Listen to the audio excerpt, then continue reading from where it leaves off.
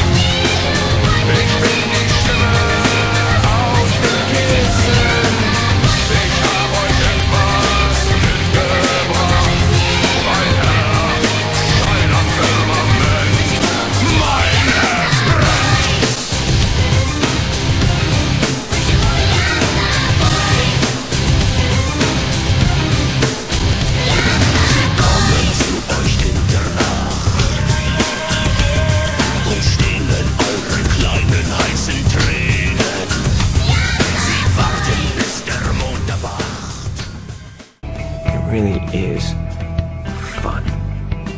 Because damn it, there is nothing better than to going out there and fighting a fight and suddenly you see.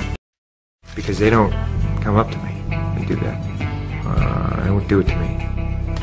Not to my face, you know, or anywhere in my vicinity where they feel they can be confronted.